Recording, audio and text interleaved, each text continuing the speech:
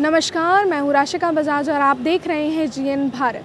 रमज़ान के महीने में रोज़े व्रत रखने, रात में तरावी की नमाज़ पढ़ना और कुरान तिलावत करना शामिल है। मुस्लिम समुदाय के लोग एक महीने तक रोज़ा रखते हैं और सूरज निकलने से लेकर डूबने तक कुछ नहीं खाते हैं। और जैसा कि अभी मैं रांची के मस्जिद में मौजूद हूँ, आइए कुछ लोगों से जानते हैं कि रमज़ान की पूरी विधि क्या है। भी हमारे साथ मौजूद हैं मस्जिद के मौलाना। आइए इनसे जानते हैं कि रमज़ान करने का क्या फ़ायदा है, क्या हर एक मुस्लिम रमज़ान करता है? रमज़ान रूहानी फ़ायदा भी है, जिस्मानी फ़ायदा भी है।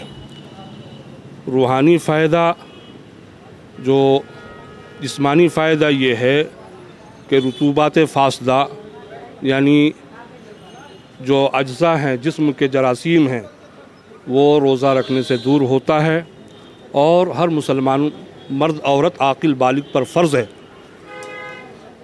हर मुसलमान आकिल बालिग मर्द पर फ़र्ज़ है और रमज़ानुल का महीना ये तमाम महीनों से अफजल और बेहतर है। और रमज़ान मुबारक का एक एक लम्हा अल्लाह के अनवार बरक़ात उतरते रहते हैं, नाजिल होते रहते हैं।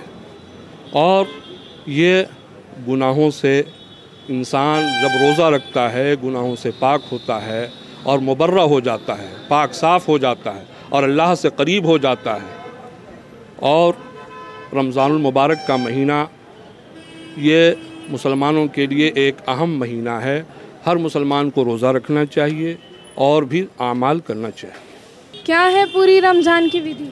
रमज़ान का महीना में यही है कि जब सब रोज़ रोज़ा रखे हुए रहते हैं और जो है सुबह चार बजे भोर से जो भी खाना पीना होता है उससे पहले खा लेते हैं। और बाद में एक घूट पानी भी नहीं पीते हैं। सब जब मगरिब का टाइम होता है ना, शाम को छः बजे, उसके बाद जो है सब रोज़े अवतार करते हैं, सब अपने घर में मिलजुल करके जो भी बनता है, सब बैठ के एक जगह खाया, खा, खाते हैं।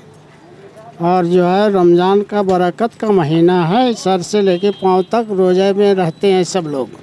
समझ गए ना, जितने भी रोज़दार हैं, उन लोग का ये जो है अल्लाह ताला इसका कबूल करता है और रोज़े के महीना में सारा गुनाह माफ़ हो जाता है। समझ गए ना? और पाँचों टाइम नमाज़ पढ़ते हैं बहुत से लोग रात को तहजद पढ़ते हैं दो बजे रात को तीन बजे तीन बजे तक। समझे ना?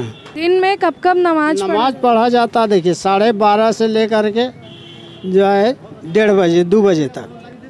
ऐसे आप भी पढ़ते हैं लेकिन मेन नमाज़ पढ़ा जाता है तो साढ़े बारह से लेके डेढ़ बजे तक। तरावी? तरावी तो रात को नौ बजे से शुरू होता है। तो जैसा कि आपने सुना कि रमज़ान रखने की पूरी विधि विधान क्या है? हमने मस्जिद के मौलाना से भी बात किया और कुछ लोगों से भी बात किया कि रमज़ान कैसे मनाया जाता है और रमज़ान रखने का फ़ायदा क्या है। जीएन भारत के लिए रांची से वीडियो जर्नलिस्ट सोनू पांडे के साथ मैं राशिका बजाज। अपने राज्य से जुड़ी हर ताज़ा खबरों के लिए आप हमें सब्सक्राइब करें, साथ ही बेल आइकन बटन दबाना ना भूलें।